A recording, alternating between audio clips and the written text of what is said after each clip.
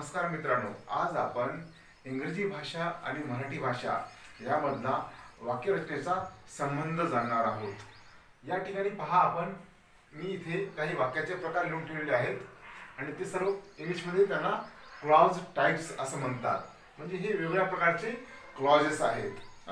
Clauses म्हणजेच जवळपास वाक्य असे असा त्याचा अर्थ होतो. या ठिकाणी पहा मी काही एलिमेंट्स लिहिले आहेत वाक्यांचे. सब्जेक्ट आहे वर्ब आहे ऑब्जेक्ट आहे कॉम्प्लिमेंट आहे आणि ॲडवर्बियर आहे. ओके या ठिकाणी हा वाक्याचा प्रकार आपण सर्वात अगोदर पाहूया. तो आहे पहिला आहे सब्जेक्ट आणि वर्ब प्रत्येक वाक्यामध्ये सब्जेक्ट असतोच. ओके या ठिकाणी पहा ही हा सब्जेक्ट आहे. लास्ट हे वर्ब आहे. तो हसला. मराठीतून जो शब्द आहे तो याचा अर्थ ही इथे लिहिलेला आहे आणि हसला याचा अर्थ लाफ ओके दोन्हीही एलिमेंट्स व्यवस्थित आहेत सब्जेक्ट आणि वर्ब या रचनेनुसार. पण इथे या ठिकाणी पहा सब्जेक्ट वर्ब ऑब्जेक्ट यामध्ये शी हे सब्जेक्ट आहे एन्जॉयज हे वर्ब आहे पार्टी हे ऑब्जेक्ट आहे. पण इथे याचा मराठीतून अर्थ आपण जेव्हा पाहतो तेव्हा शीचा अर्थ इथे ती बरोबर लिहिला आहे. पण या ठिकाणी जे एन्जॉय जे वर्ब आहे याचा अर्थ शेवटी दिलेला आहे. या ठिकाणी एन्जॉय ह्या वर्बचा अर्थ शेवटी आहे. म्हणजे मराठीमध्ये वर्ब्स हे वाक्याच्या शेवटी लिहिले जातात. पण इंग्लिशमध्ये वर्ब्स सब्जेक्टच्या नंतर लिहिले जातात. आणि या ठिकाणी हे ऑब्जेक्ट जे आहे कुठं आहे?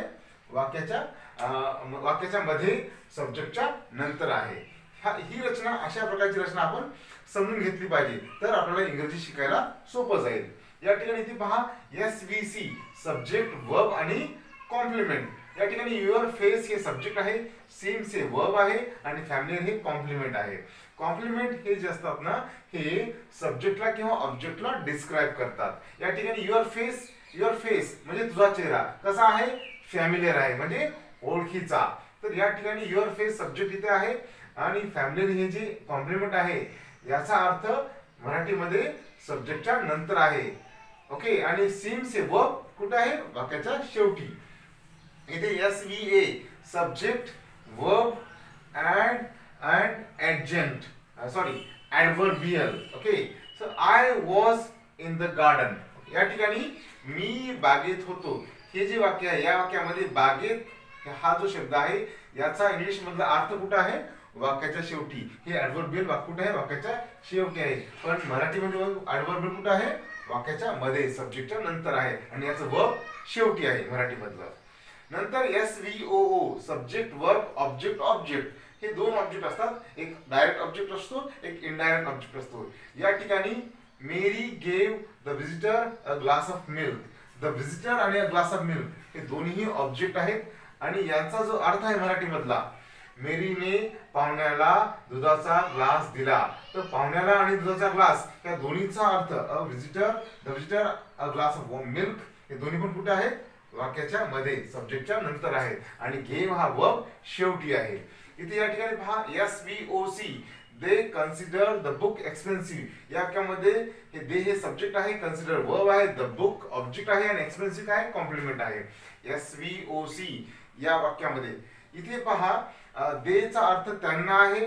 ओके सब्जेक्टच्या खाली बरोबर सब्जेक्ट आहे मराठीमधलं. पण या ठिकाणी कन्सिडर हे वर्ब आहे कुठे? आहे शेवटी आहे वाटते.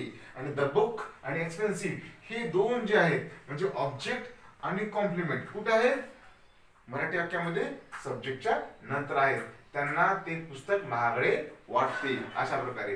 नंतर सगळ्यात शेवटचा प्रकार पाहूया आपण. S V O A subject verb object आणि ऍडवर्बियल या ठिकाणी पहा यू हे सब्जेक्ट आहे. सब्जेक्ट सगळ्या ठिकाणी सुरुवातीलाच आहे. इथे मस्ट पुट हा जो वर्ब आहे याचा अर्थ ठेवायलाच पाहिजे कुठं आहे? मराठीमध्ये सगळ्यात शेवटी. आणि ऑल द टॉईज सगळी खेळणी अपस्टेअर्स वरच्या मजल्यावर. या ठिकाणी पहा. आता हे जे आहे ना आपण पाहतो की ऑब्जेक्ट आणि ऍडवर्बियल कुठं आहे? मराठी वाक्यामध्ये अगोदर सब्जेक्ट नंतर आहे. तर या वाक्यातून आपल्याला असं लक्षात येते की इंग्रजीमध्ये वर्ब्स सब्जेक्टच्या नंतर असतात आणि मराठीमध्ये वर्ब्स सगळ्यात शेवटी असतात. इंग्रजीमध्ये कॉम्प्लिमेंट जे आहे वाक्याच्या शेवटी असतात. कॉम्प्लिमेंट्स ऍडवर्बियल पण मराठीमध्ये ते वाक्याच्या मध्ये सब्जेक्टच्या नंतर असतात. धन्यवाद.